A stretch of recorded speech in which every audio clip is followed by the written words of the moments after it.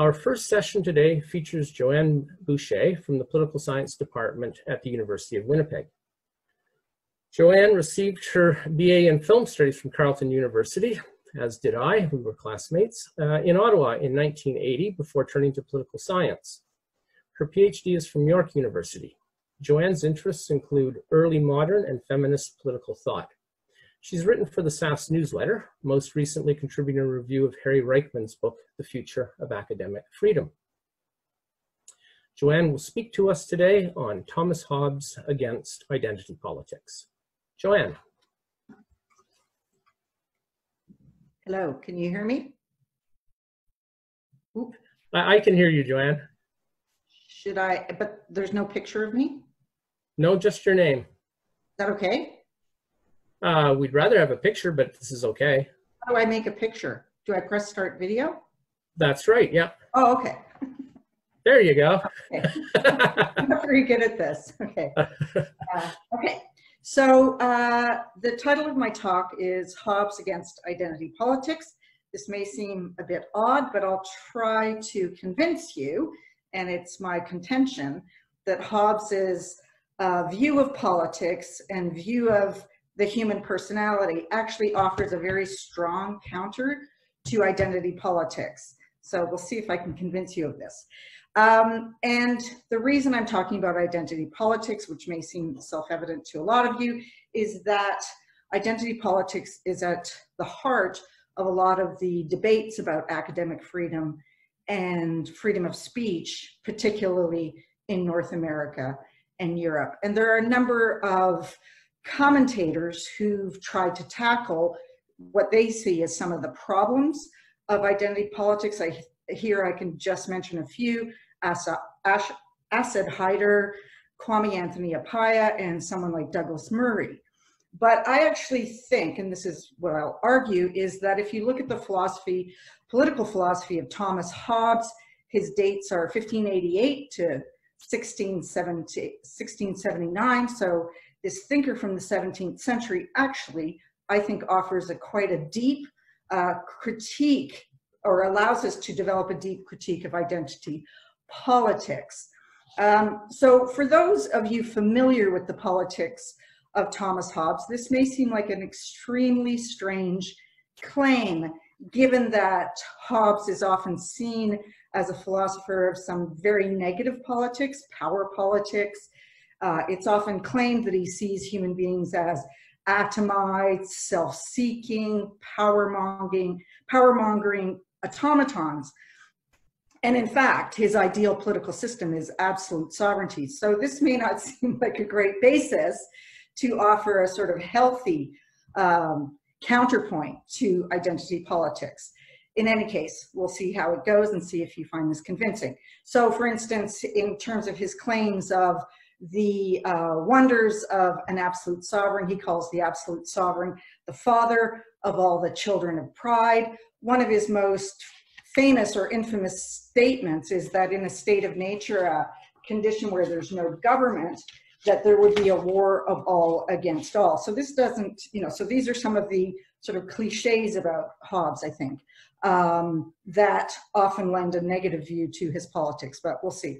So first what I'll do is I'm gonna define what I think are identity politics, identify what I see as some of the problems with it, and then talk about Hobbes's political philosophy as a counterpoint. Um, to a lot of the claims of identity politics. My comments are pretty general about identity politics, so there may be problems that people have with that. Similarly, I'm treating Hobbes quite generally, but in any case, so in terms of uh, talking about identity politics and defining it, um, I would argue that identity politics rests on the notion that society is a complex of power, a complex structure of power relations so the capitalist economy, for instance, the state, all institutions embody these power relationships that constitute society. So all human beings, the idea goes, enter, uh, enter into society, and so they enter into power relations. However, they don't do so as equals. There is a range of ways in which, as they enter society, particular persons are marked as inferior, situated as inferior because they belong to specific groups, specific identities. And this dictates their, um, their position as winners or losers in society. So the identities which these politics focus on are those that are deemed to be marginal, oppressed, unheard. They are not dominant, they are not powerful.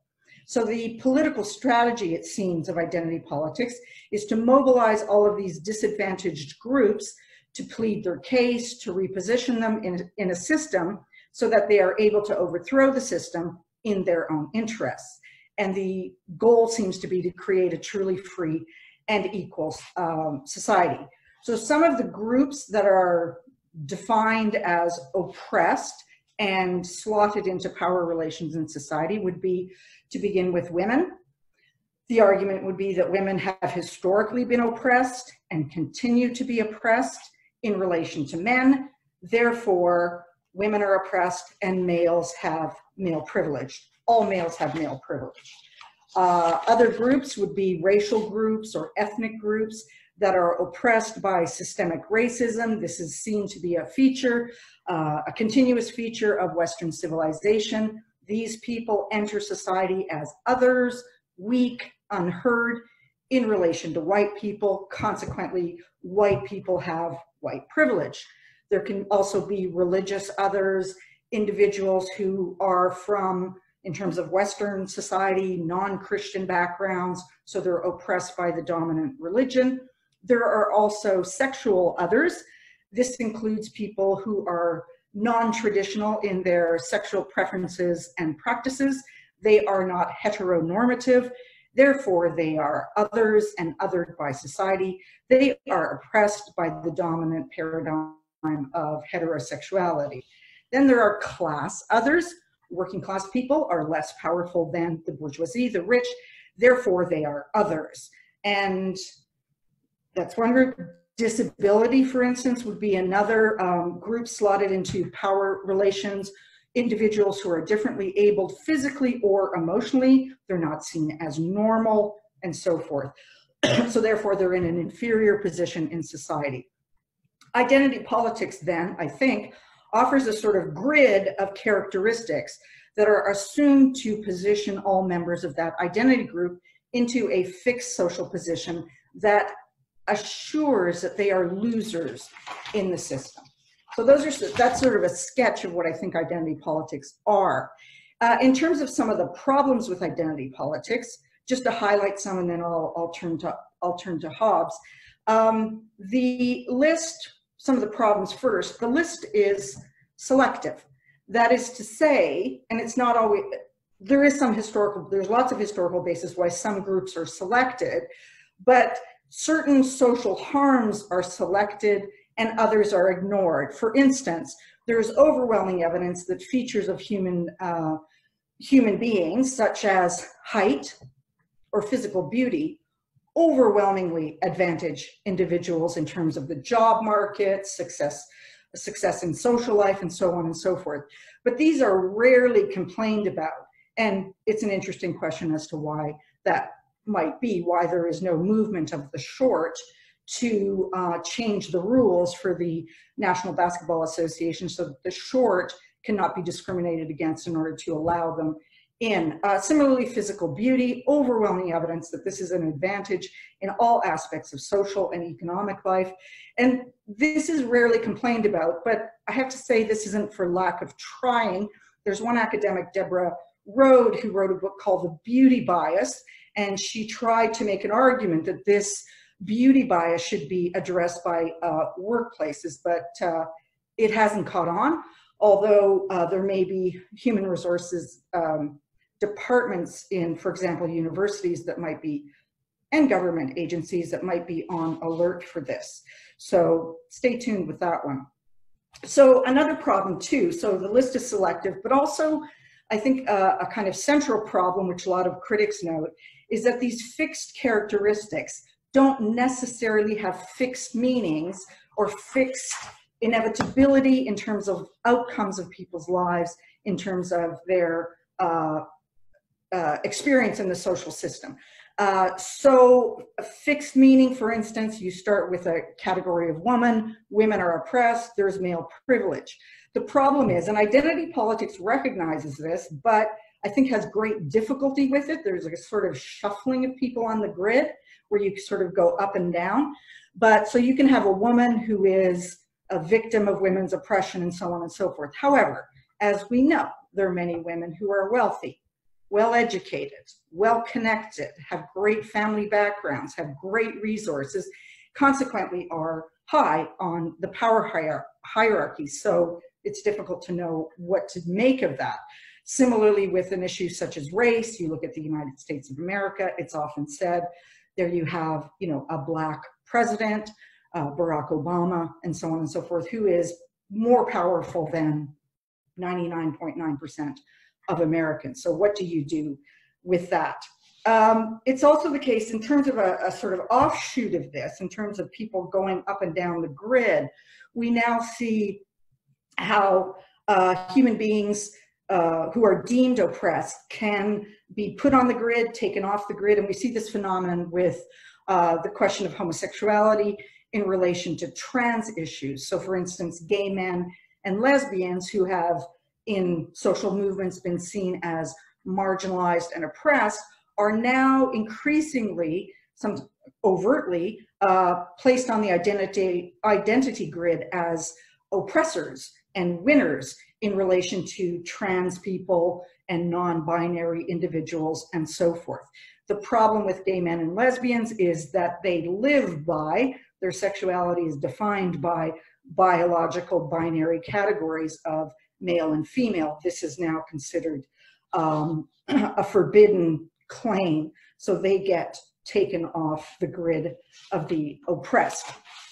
So those are some of the problems, but also I think that it leads to inevitably a sort of toxic form of politics, which is obsessed with categorizing people, um, and so on and so forth. It assumes, I think it also assumes that human cooperation and human understanding is not possible. That is to say, there's something, that it's curious.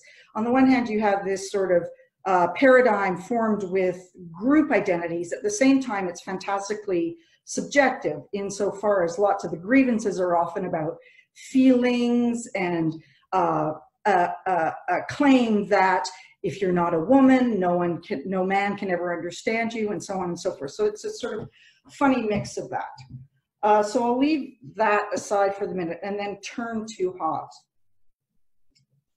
So Hobbes, um, uh, as I said, I think uh, offers a paradigm that can take us out of this um, reduction of human beings and rigidity about politics. So first thing to say about Hobbes, if you know people are familiar or not with him, is that I think that Hobbes was, and I don't think it's acknowledged that much, was a profoundly radical thinker. And I think that the key to his radicalism was uh, the fact that he was a thoroughgoing uncompromising materialist. For him, all of the world was body, all of the world was material. So here's a quote, for instance, from his masterpiece, Leviathan. He says, The world is corporeal, that is to say, body, and has the dimensions of magnitude, length, breadth, and depth. Also, every part of body is likely body and has the like dimension. And consequently, every part of the universe is body and that which is not body is no part of the universe. So this obviously got Hobbes into trouble in the 17th century, which is why Leviathan was burned by the common hangman, and uh, Hobbes was blamed for the fire of London in 1666 for his atheism. In any case, setting that aside, so, uh, so as part of the universe then, this material universe. Human beings are by definition material beings. We are matter in motion. We are embodied creatures. And this is our inescapable and shared human condition. Human bodies, he argues, driven by desire, are the basis of what we are and what we are able to be in this world. The body, I think for him, is the great leveling fact that all human beings confront.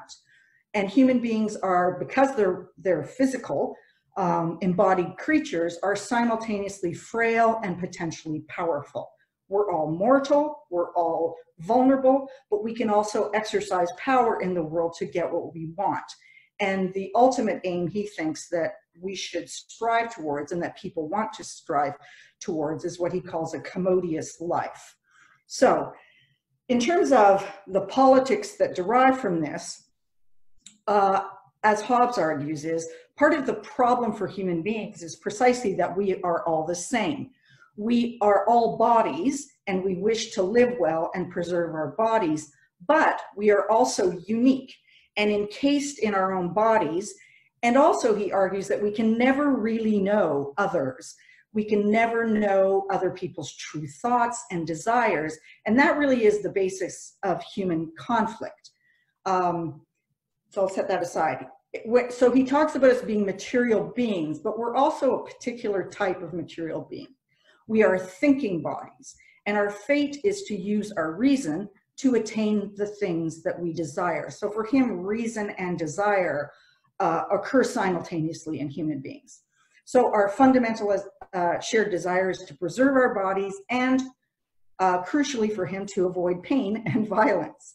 Uh, so this then is the foundational uh, problem or condition in which we attempt to uh, construct politics and try to construct societies where we can live peacefully and cooperatively. And this is problematic, again, given the character of human beings and given uh, the human condition. That is to say, we're all maneuvering in the social world and we never know the true aims of others. They may wish to harm us. Uh, we may have something that they desire. So his argument is, is that we are social, I think, we're social beings, but we're not innately sociable. And that's the problem of politics. So Hobbes then uh, offers a vision of politics and the principles on which we can achieve uh, peaceful society. So he gives us, in my view, a more, much more complex and rich uh, picture of human motivations and the human character than anything we can get from identity politics. So one of the best uh, locations for information about this is chapters 10 and 11 of Leviathan. Chapter 10 is of power, worth, dignity, honor, and worthiness, and chapter 11 is of the difference of manners. Here, Hobbes describes the characteristics which constitute the human personality. And at the core of what he argues is, is that we all have powers at our disposal that we can mobilize to negotiate through life. He thinks that and argues that all human beings have certain powers available to them. And I'll talk about that. So he describes uh, our general motivation as, uh, and this is from Leviathan, I put forward a general inclination of all mankind, a perpetual and restless desire of power after power that seizes only in death. So that we have this uh, use of our powers to achieve our desires the problem, political problem, one of the political problems for him is that there is no ultimate aim or ultimate good, but each individual determines desi- uh, their desires and devises their own template of what is good. And without a state, his argument is this leads to war, the war of all against all. Um, so, but there are a few qualities, he argues, that drive people to uh, cooperation and to form political societies where, where they can achieve peace. Uh, and those desires are the desire of ease and sensual delight. These desires drive us to use our reason to uh, sort out how we can live together peacefully. So uh, this is how Hobbes defines power, because this is often seen as, uh, I think it's often understood as sort of power politics, domination, and so forth. And I actually don't think that's what is entirely meant at all. So he defines the power of a man is his present means to obtain some future apparent good. In other words, a human power is simply a human capacity that allows people to engage with the world and with one another to achieve particular ends. So for him, there are two types of power natural, that would be sort of your innate, uh, immutable human characteristics, if you're tall, if you're short, um, if you have an incredibly high IQ, those sorts of things. And then instrumental powers, which would be more social, um, that allow you can use those uh, social resources to gain more influence. Uh, and pivotally, I think one of the things that Hobbes emphasizes, and I don't think that uh, modern politics emphasizes this enough, enough, it's a very ancient notion, but that one of the sort of uh, main features of human life is fate or good luck. So this sort of pagan idea that the gods have a lot to do with how our lives turn out, uh, in any case, or the opportunities that we have. But he certainly makes that uh, an important point. So his argument then is that we have these powers, or to make it sound more benign, uh, for us would be capacities or resources that we are born with or acquire or uh, mobilize ourselves to acquire, uh, but also innate qualities. And there's this complex um, uh, combination of them in our lives. And uh, we use these powers uh, to essentially maneuver through life, essentially capacities, resources, skills, and so forth. So uh, far from being an entirely individualistic perspective, however, he does see us as unique individuals, but we're also embedded in all of these social relationships necessarily. So I'll read out a few of the types of powers that he refers to to give you a sense of how power for him is very much social insofar as our capacities, our power, our powers, our resources are dependent upon how we successfully interact with other people. Again, this isn't simply about domination at all. A lot of it's about cooperation, sharing enterprises, and so forth. To, yes, to get our aims, but also we do this in cooperation with others.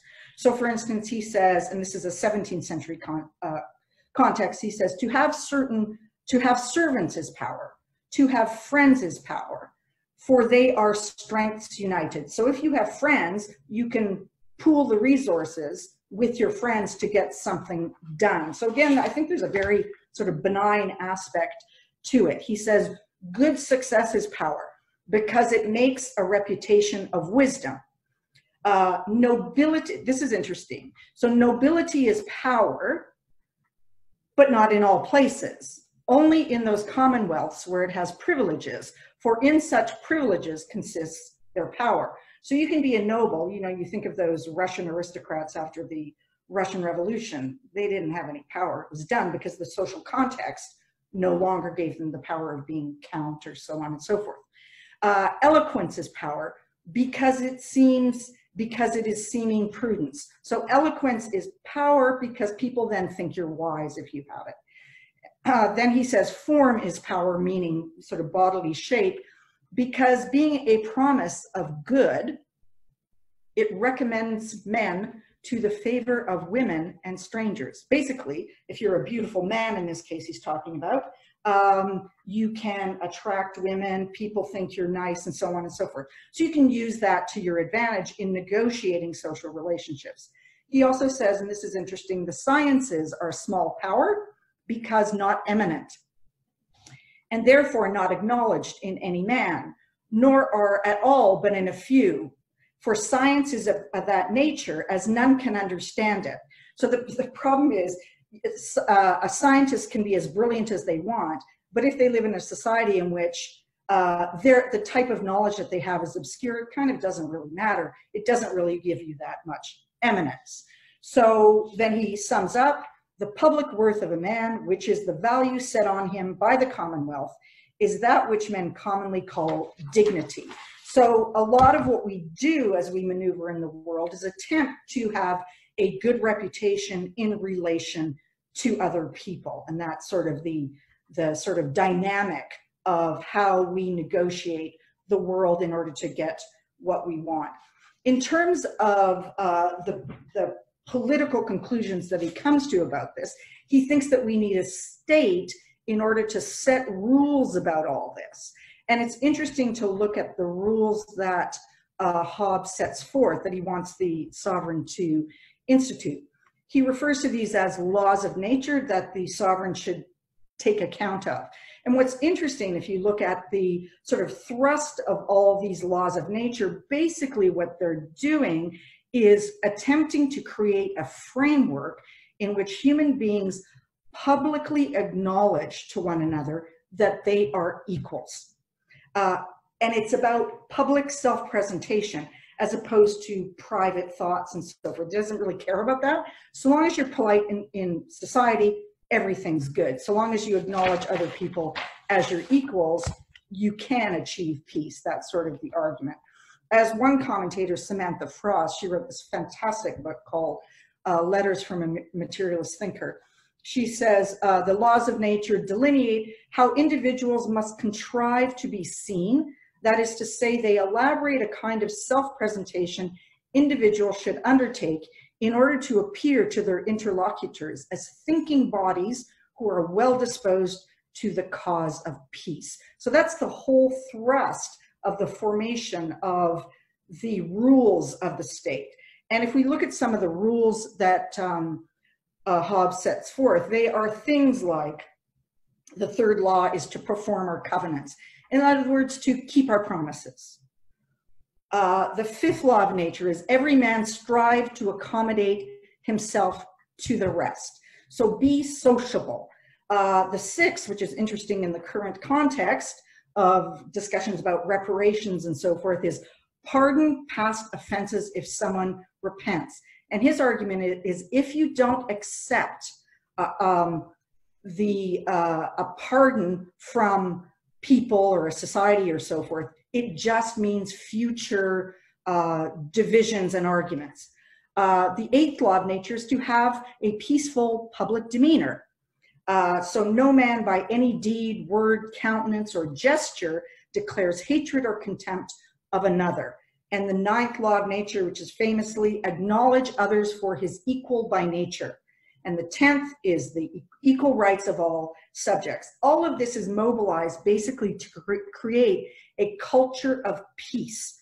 And as Samantha Frost says, individuals should conceive of themselves as inevitably part of a collective whose constitutive relations have a significant bearing on the possibilities of peace, security, and prosperity that each individual can imagine and pursue. So it's up to everyone to participate in this attempt to acknowledge one another as equal with equal interest insofar as we all want to protect our bodies and our endeavors. Uh, so that's just a sketch then. And then I just want to, uh, in the, don't want to go on too long, but in terms of a contrast, I think that Hobbes's vision of the human personality offers, in contrast to identity politics, uh, some of the points such as the following. First of all, there is an insistence on the commonality of the human condition. There is an insistence that all human beings are fundamentally equal and the same insofar as we are all embodied creatures trying to preserve our bodies and advance our aims. And we're all mortal, we're all vulnerable. Uh, we also are, by definition, incredibly unique. He talks about specific personalities, someone's quick-witted, dull-witted, excitable, vain, strong. Everyone is driven by different passions and aims. So everyone is fantastically unique. Moreover, everyone is shaped by very individual histories and experiences that shape our life chances and personalities. So we're very individual. At the same time, we're embedded in a web of social relationships um, and we negotiate the world with our individual attributes, but also with the powers that socially we may have or may not have. Our family connections, talents, friends, family, and so forth. So in other words, in my view, Hobbes presents human beings as existing in a kaleidoscope. Their personalities are more of a kaleidoscope than existing on pre-given, uh, with pre-given characteristics that place them on a grid that moves them mechanically up and down depending on history, current trends, and so on and so forth. So, um, so, and then also in terms of fate, uh, human beings are shaped by the fact that they may be born in a time of depression, a time of war, a time of prosperity. A lot of this is just dumb luck in terms of where you're situated in terms of life.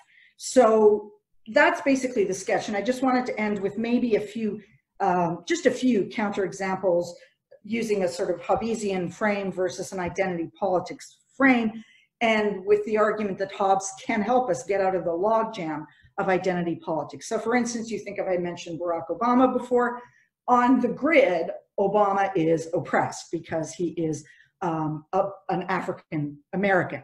Uh, nonetheless, he rose to the highest office in the land. That is to say, and that's to do with him, his particular intelligence, his particular level of education, his particular eloquence, uh, the excellent relationships he has, his personal, stunning personal charm, all those things. However, it also has to be said that he's also maneuvering in a world that is post Jim Crow, post slavery. So that matters as well. So I think both things can matter are the individual qualities and the social structure. And I think Hobbes gives us that.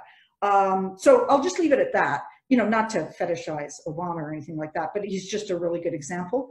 Uh, I'll just leave it at that.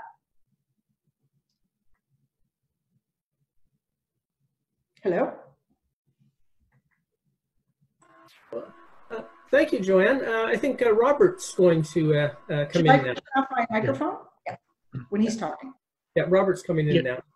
Yes, uh, th- thank you very much, Joanne, for your uh, really interesting uh, talk. It's inspired me to download Hobbes' uh, Leviathan.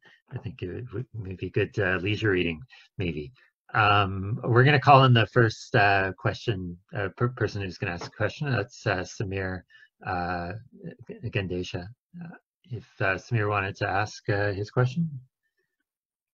Yeah, um, thank you very much, John. I really enjoyed the talk, and um, I think I got a preview of some of the arguments when I was in Winnipeg uh, in November. I think we were talking a little bit about your idea for for this paper, and um, it's a it's a terrific argument. Um, I have one comment and and then a question. Um, the first comment is that I think your argument about what identity politics is could be strengthened by um, maybe paying a little bit more attention to some of the things that uh, Asad Haider says in his book Mistaken Identity, which you, you, you referenced.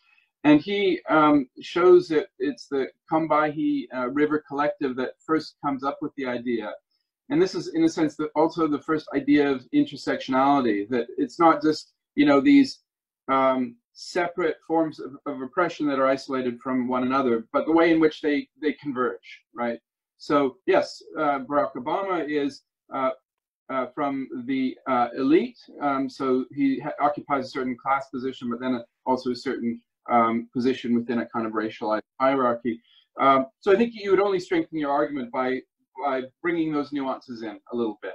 Um, uh, the question I have though is, what do you make of um, the way in which Hobbes has been interpreted by a figure that you could say is um, engaged in a kind of identity politics of, of the right, which is Carl Schmitt, right? Carl Schmitt made quite an influential interpretation uh, of Hobbes. Schmitt's very interested in the idea of sovereignty and argued that um, sovereignty itself relies on um, the political, and the political is the division um, of uh, friend and foe and the way in which this division uh, is um, is constructed is through a principle of um, uh, of a hom- homogenous people uh, that confronts its its enemies in a very existential way. So you have this kind of identity politics on the right, often called these days identitarianism. So there's also this identity politics on on the right that we need to maybe think about. But but I think Schmitt is such an interesting case because he wants to take Hobbes in this direction. So I'd be interested in hearing what you have to say. Thanks. Excellent points.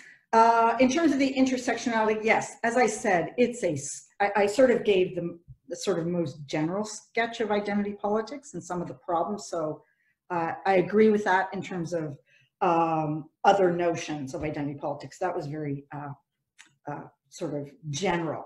Uh, in terms of uh, the right, but also very, very typical interpretations of Hobbes, there is a move now. I think there's sort of more of a trend to focus on Hobbes's materialism, but also the sort of underlying project that it really is.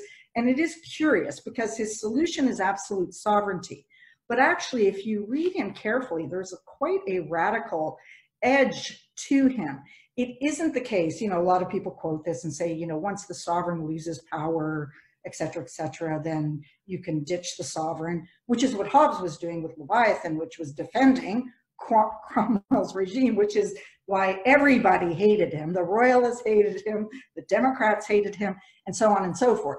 Um, but there's also um, uh, passages in Leviathan where, and people in the 17th century picked up on this, they referred to Leviathan as a catechism of rebellion, where he says, uh, he says, on the one hand, he says, rebellion is never justified, it's terrible. And then he says, you know, it's outrageous. And he says, however, if there's a rebellion and the sovereign declares war against you, you have the right to protect your body. So a lot of people see this as people see this as a contradiction. That's how it's been posed. But I think many people now see this as actually no, of a piece that really the object of um, the formation of a state is precisely to protect bodies and allow bodies to uh, maneuver in the world without uh, much interference. So that's so there's sort of this kind of interesting um, uh, rad- extremely radical edge. So there's actually people who, like this woman, uh, Ingrid Makus, she's at Brock, I think. She wrote this book about uh, women and classical uh, political theory. And she argues that Hobbes, essentially, you have an argument for a welfare state with Hobbes because the and for protecting women and so on and so forth because you know you are and he he argues for public charity and so on and so forth. So i think there's that dichotomy. So yes you can do a carl schmitt but i actually think it's not quite true to hobbes. But i'm i'm trying to make him into a marxist basically i think joanne thank you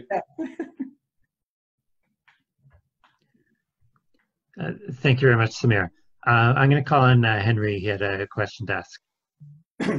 yes, uh, thank you for the talk. And um, I was uh, asking my question about your comment. I'm not. I'm sorry. The quote that you gave, which was "war of all against all," and uh, my question is. Um, maybe you can talk a little bit now because now we are at a very different time. We have democracy. It's a very different time than Hobbes time. Can you talk a little bit about uh, the need for law and order, especially in what we're seeing with the riots in the streets? Absolutely. I have been thinking about Hobbes quite a lot watching uh, all the news. Uh, one of to, often it's uh, people just think that Hobbes refers to the war of all against all as a kind of pre-social situation, but really, what he actually says is that, uh, you know, you can look at, you know, he refers to Native American societies and so forth as living in the state of nature, um, where there's the war of all against all. But he says, really, it is civil war is the war of all against all. Civil war is the state of nature. So that, and he's writing this, he writes Leviathan in 1651, just after England has had almost 10 years. I mean, more people proportionally were killed in the Civil War than were killed in World War One. It was devastating. So that's why Hobbes is driven and obsessed with the conditions of peace and cooperation, even though he's often seen as a war philosopher. In fact, he's obsessed with peace. I would say he's an apostle of peace. And precisely, he says, you need law and order. There, uh, there are no covenants without the sword. So, and potentially in the United States, people are, I think from a Hobbesian standpoint, people are playing with fire. Uh, they've done so literally, but they're also doing so metaphorically. Because if you don't like the existing regime, which is what Hobbes is saying, try the state of nature, you will be horrified. and also the notion that um, uh, law, uh, civilization is incredibly fragile. And again, he just lived through 10 years. Actually, he ran away. He went to France. Uh, and he was always very proud of that, that he was one of the first to leave because he, you know, proclaimed himself a coward. But in any case, uh, absolutely it applies. Yes. I think. I don't know if that answers your question. Yes, uh, very much. Yeah. Thanks. And um, yeah. Thank you. Thank you, Henry. Um, uh, we'll call on uh, Frances Widdowson. She wanted to uh, ask a question. Go ahead, Frances. You need to unmute.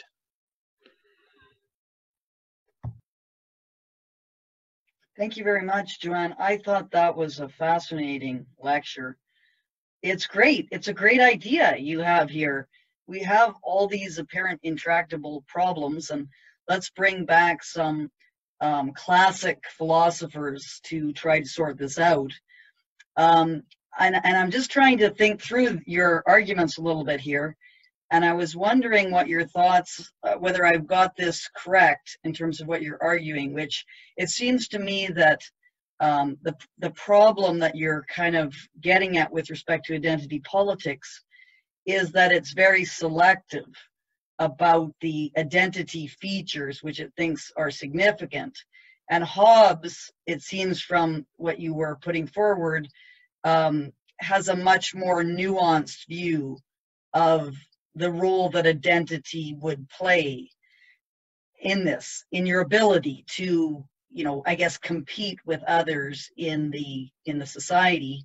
You mentioned just at the end in your response to Samir about Marx and Karl Marx, and I'm just wondering um, how this would all fit. Like, what would Karl Marx say about those arguments? Um, would he say that really Hobbes was mistaken in his more nuanced view because um, it fails to understand the the huge significance of class? Like, class is a much more um, uh, important uh, variable than Hobbes would give uh, account for. Uh, I'm just wondering what your thoughts would be on trying to kind of widen that analysis to include Karl Marx in, in your discussion. Thank you. Yeah. So, oh, that's a great, those are great observations. And I think the thing, um, and I thought about the Marx bit, but I think if you look at Marx's conception of human beings, there is obviously that strong, deep materialism. But if you read Hobbes in contrast, I think what's different is Hobbes gives you a mo much more complicated sense of human motivation. And a lot of the motivation is based on individual personality. So that's the, there's that aspect of individualism, but it's um, this kind of baffling array of what people get upset about or what they're driven by. So he talks about kings, you know, some of them are expansionists, some of them are cowards, some of them just want monuments built uh, to themselves or individuals. Some of them love science and learning. Some of them just want a workaday life. Some of them are lustful um, in terms of sex. Some of them are lustful in terms of gold. It just, there's so, I think there's a much richer uh, picture of human motivations uh, and I think the, the sort of weakness of Marx in contrast to Hobbes is precisely that the motivation is sort of mechanical, materialistic, as opposed to, you know, with Hobbes, I think you can have someone, you know, you can have sort of a mother figure or something whose simple motivation in life is to have as many children as possible, just adores children. And that's a type of human motivation that's explicable simply by our human diversity or someone who is religious, a monk or something like that. That's what they're driven by. And not everything is reducible to economics. So I actually think it's a richer um, description of human motivation. It's quite extraordinary, actually, if you read it carefully. So humans are motivated by 50 things in his view. Uh, and it's shaped by their personality, but also it is shaped by their social embeddedness as well. So I don't think that, um, I think it could also fit some kind of notion of group oppression Uh, but again, the group oppression is a thing, but it's counterbalanced by individual motivation and characteristics and so on and so forth. So yeah, great question. I don't know if that answers it, but. Thank you very much, Frances. Uh, Malcolm Bird will be the next uh, person asking. Malcolm could speak. Okay, thank you very much for that, Joanne. Um, I just have a very general question comment. Um, um, you know, at, at the core is that that Hobbes is lauding modernity and humans' capacities to work together, build a peaceful society, and, and enjoy the wealth that comes from that peaceful society. And it seems to me that identity politics adherents tend to loathe modernity and, and have utter contempt for modern institutions. Um, and so are, are we kind of in different paradigms here? And is it even possible to have a dialogue between these two these two views? I just your comments on that. I hope so. I think we're in danger of people not realizing how fragile. In terms of the previous question, I can't remember the man's name who asked it, um, but here's what he says. Uh, basically, it's a message to human beings to be very careful about what they play with, with complaints against the state and so forth.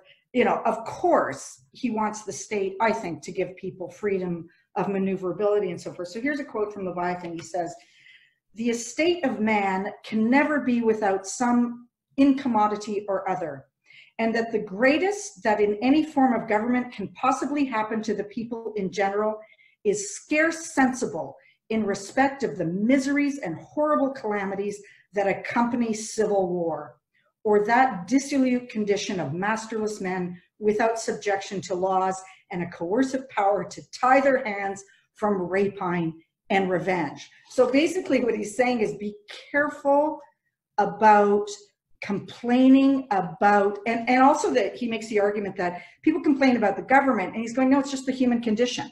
Human condition is just a drag because we're mortal, because we're physical, because we suffer and we live in fear.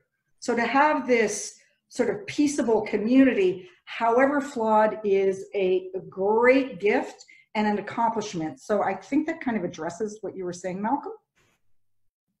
But I don't know if people can hear that uh, now. I don't know if they can hear that because, I mean, I think the United States, it's an incredibly uh, dangerous situation and people are um, being flippant about centuries of work and cooperation, and it is so fragile. And they are playing with fire. It is very frightening to watch, from my point of view, anyways. Thank, uh, you. thank, thank you very much, Joanne. I, I often wonder about that uh, from the uh, if, if you were to take, I, I always wanted to read uh, more magazines uh, from like the Harper's from uh, the 1850s um, and find out what people actually were saying in the US uh, years before the Civil War because um, things change. Um, it, it, because looking backwards is always easier than looking forward, I think, um, to the future. Uh, the next person uh, to ask a question will be Sink um, McRae, and there we go. Thank you. Thanks, uh, Robert and thanks, Joanne, for your for your very interesting talk. Uh, I, am a philosopher in Calgary. It's been um, I used to teach a course in the history of ethics, and I used to have the students read, I think, the first 17 or 18 chapters of Leviathan. But it's been a long time since I've I'm a little bit rusty on my my Hobbes. But I just wanted to frame my way of, of seeing Hobbes's contribution, main contribution, uh, to uh, our understanding of our political association, and see how it lines up with your take on the his view about identity politics. So I think the great thing that Hobbes did was to recognize that our political associations exceed the bounds of our more tribal associations. And he articulated the means by which we could maintain that kind of association that required that we step beyond uh, narrow affective bonds And uh, the way that I see the problem with identity politics, I, I think as you're sketching it out, is that that's a step backwards insofar as it is a step away from trying to find ways to promote cooperation through through the exercising of reason. So Hobbes has a really nice story about political legitimacy and the monopolization of the use of force in the state. So it's a it's a it's a compact. It goes both ways. On the one hand, we cede over to the state monopolization of the use of force, but on the other hand, that's dependent upon them maintaining the status of political legitimacy, and that's where the argument about equality comes in. So insofar as you're engaged in identity politics that are, um, I'm not I'm not trying to be offensive, but one phrase that I've heard is uh, is, is the is the phrase uh, chimpanzee politics. It's a, it's a kind of it's a politics for a very small group that doesn't fit a larger association. So I think it's really important of the, even though I have questions about equality, that that that that, that idea of equality and the link to, to reason. So I think that that's a, a, a perspective from which you can uh, critique the uh, claims of identity politics is actually not really fitting into the complex political associations that we have to deal with. So uh, I think of identity politics as a kind of a, well, one way of framing it is in terms of, of, of its ethnocentricity. So although there are small groups, the problem that we face in society is we have states that that encompass more than just these small groups. So we have to get along in uh, we have to get along in these larger groups. Anyways, I'll stop right there. Thanks very much for an interesting talk, and I'll turn it back to you. Oh, uh, that's really interesting. You know, uh, it sort of makes me uh, think of this connection between what. So Hobbes was obsessed with, as everybody in the 17th century in Europe was, with religion. And one of the things that people don't realize about Hobbes is, in a way, he was a, a skeptical philosopher. So he actually shares a lot of the same views as postmodernists to some degree. But what he says is, uh, we can never really know facts, the truth. He says science is conditional, for instance. I mean, skepticism was massive in the 17th century. Postmodernists did not invent it. I mean, it goes back to ancient Greece. But it, so in terms of re, when he talks about religion, one of the things he he and what he said about religion was outrageous for the 17th century. People thought he was an atheist. They hated him. Uh, but what one of the things he says about religion that's so dangerous is precisely that it's subjective. That is to say um, that if somebody claims they're a prophet, there is absolutely no way to know if they are or not. So he argues for a state religion, and it sounds horrifying, but it's the blandest religion. There's two rules obey the uh, Jesus is Lord and obey the law. That's it. So he sort of sets out these minimal conditions that people can agree on. And basically, if you think you're a prophet, keep it to yourself. If you're an Episcopalian or a ranter, just stop it. You know, go to services on Sunday. You know, like let's all pretend that we believe this. So it's interesting in terms of the issue of something like race now. I actually think what, uh, in terms of the American situation, I actually think that we are seeing the uh, racial politics essentially become sort of parallel to religious politics. That is to say, the notion is that there's uh, an experience of race that is incommunicable to others and it is somehow it's becoming sort of sacred these people are blessed and so on and so forth we are seeing white people kneel before black people for forgiveness it is i, I it's absolutely chilling this is uh, the cultural revolution 101 and the, and again the problem is as you were saying that that there's no connection between these human beings because of their subjective conditions. There's no bridge. And as I said, I think Hobbes gives us the bridge, which is peaceable society, here are the rules. Um, I don't know what your consciousness is. I mean, he literally says human beings are, you know, atomized individuals who have absolutely no access to knowledge of the other. And that's why we fight. And that's what, what's dangerous. So anyways, I don't know if that that's maybe too far afield, but Thank you very much. Um, we have one more question and then uh, we're going to wrap up uh, from Philip. Um, can you hear me? Uh, yes. Yes. Um, I'll show the. Uh, okay, I'm an engineer, as a lot of you may not realize, although I've been a member of SAFS for what, since about the 1990s, um, I've had a very interest in the the debates that have taken a place about the nature of scientific knowledge. Um, in particular, uh, found myself publishing some savage critiques of feminist analyses. Um, the question I have, which I came across, is that in educating myself about Hobbes, was um, apparently he opposed the methods that the Robert Boyle and others were uh, inventing experiments to uh, in, improve our knowledge. Um, I just wondered why, given his obvious broad intelligence. Uh, part of it was skepticism.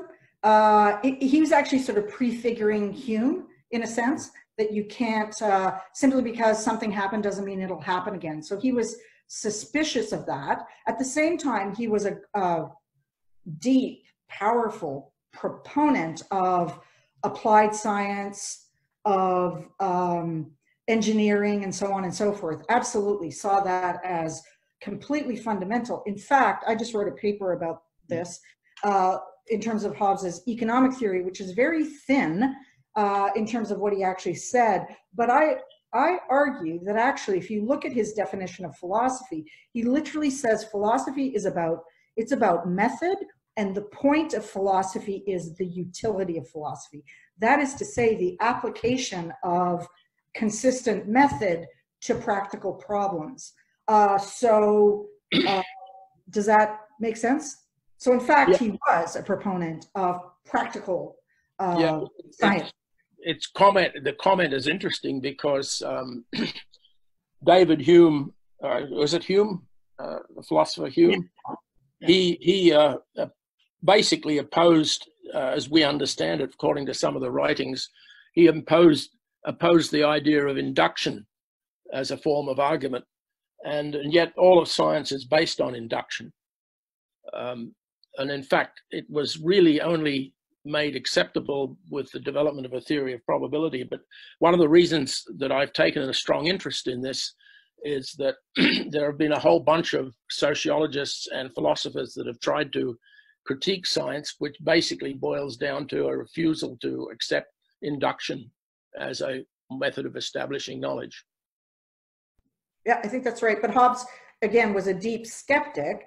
At the mm. same time, was, uh, you know, as I said, you know, praised practical accomplishments of science as absolutely fundamental. I mean, there's this wonderful quote where he, and it's from, uh, where the hell is it from? One of his earlier works. And then he talks about, he talks about, um, you know, the uh, different civilizations. And he says, you know, China, Europe have uh, basically created societies of plenty.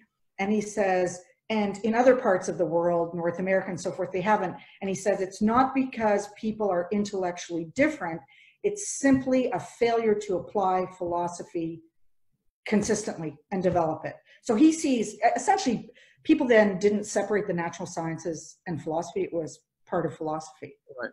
So he explicitly says that. But he's still a skeptic. He's the guy who it's just so stupid. He tried to square the circle. Like everybody thought he was a complete crank and he didn't know anything about math. And he was always fighting with people and he wasn't allowed into the royal society. So he was bitter. Yeah i've read about that. Thank you. Yeah